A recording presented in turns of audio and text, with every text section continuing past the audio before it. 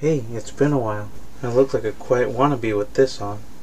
So I was planning on making this video, you know, in 2020, but I'll get into that later. I'm glad I can make these IRL videos now because last year's recap video was boring. Speaking of which, I like to react to last year's recap video and see what I've gotten right and wrong. Next year we'll have more video than this year did. Nope. Last year had four, this year had two. There's no one particular reason why, but as we go along, I'm sure you'll notice a dozen reasons why I didn't make as much Gang Beasts videos as I probably could have. But I'll just promise 10 Gang Beasts videos this year and maybe I'll laugh at myself next year. So I want to have one game a year that is a multiplayer story-driven game. Next year's story-driven game will be the Avengers game coming out in May. So unexpectedly, Dying Light became the story game of the year for us. I'm actually canceling Dying Light and Avengers is up in the air. I'll have a video about that later.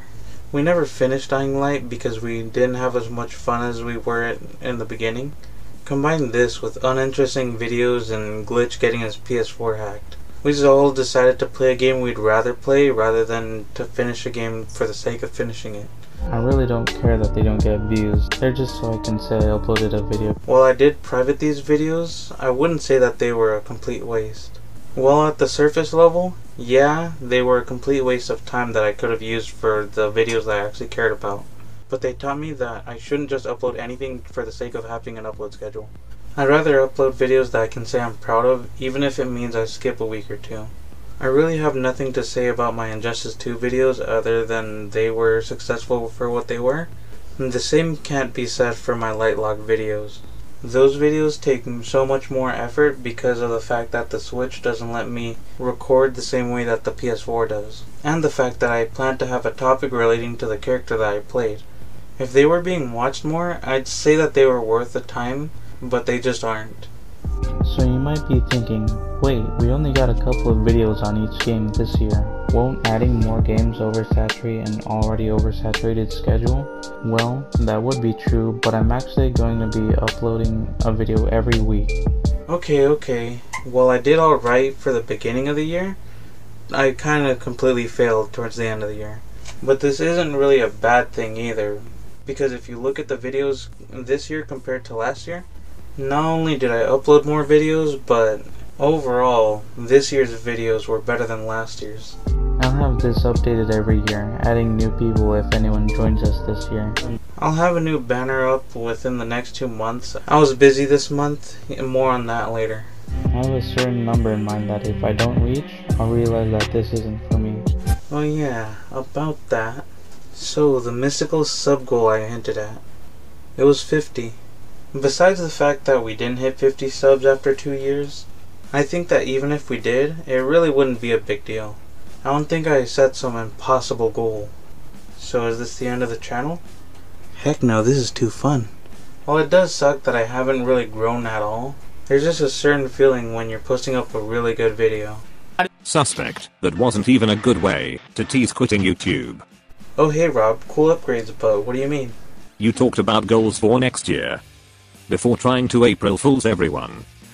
You basically pulled an Infinity War, where they announced Far From Home, before dusting Spider-Man. Yeah, whatever. Go nitpick something else, you glorified toaster. And then you wonder why you don't have subscribers.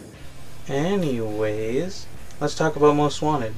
I wish I could have made one or two more this year, but I'll make a video saying why I couldn't later this year. With each one, I like to take inspiration from certain videos, for PewDiePie, it was the Rice Gum Content Cop, and for Jack, it was Roosevelt versus Churchill, ERB. Hey Jack, I've noticed you rebranded your gaming channel. Wanna collab? I should have expected this. Putting myself online for everyone to see, for people to judge me on how I look and how I talk, and then comment freely underneath the video. It's obvious that someone will eventually say something that genuinely hurts, something that hits a nerve and really makes you think about yourself in a way that you prefer not to. In all reality, I don't dislike anyone I talk about in Most Wanted. In fact, I like Jack's videos, and I think his channel will blow up this year if he can stick to an upload schedule. Hey Jack, can you reach 2,000 subs by the end of 2021? Speaking of other channels, I recently collabed with Self Standard Programming on this video. Let me quickly address the fact that while yes, this is his Christmas special, I've made sure that my character has almost nothing to do with the holidays without breaking the plot. It's an hour long, but watch till the end as I become more important as the video goes on. Leave a like because both of us as well as a dozen others put a lot of time into it. In fact, that video and Civil War are the reason why this video is late. Oh, I almost forgot to talk about Brock. So only make fun of Brock in these BVS videos. One, for comedic purposes, and two, because I know he can take it. We also have another joining the group soon. This year will be more experimental, but this video is already getting too long. And oh yeah, I'm taking another two month break.